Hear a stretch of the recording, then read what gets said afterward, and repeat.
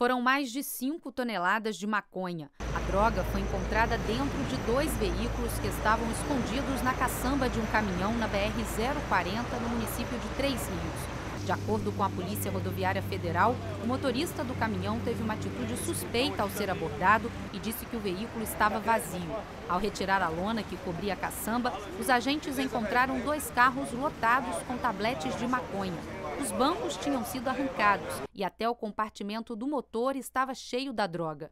O motorista, que já havia cumprido pena por roubo, foi preso em flagrante por tráfico de drogas. Ele disse à polícia que vinha de Juiz de Fora e receberia mil reais para levar a droga até a capital.